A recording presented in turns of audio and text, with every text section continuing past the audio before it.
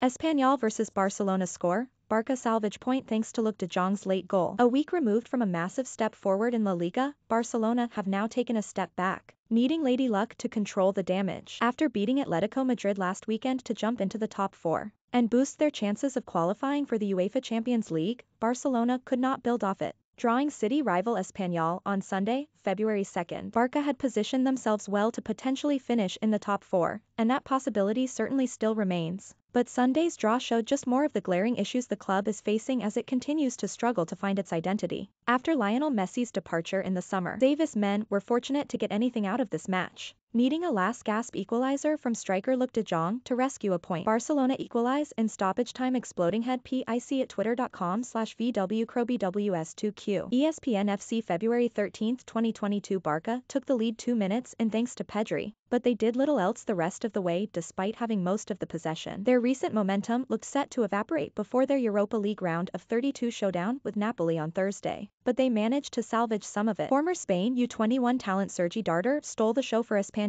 recording a fantastic equalizer before setting up striker Raul de Tomas with this exquisite through ball, exposing young centre-back Ronald Araujo in the process, giving the underdogs a 2-1 lead. Espanyol take the lead against Barcelona. Um...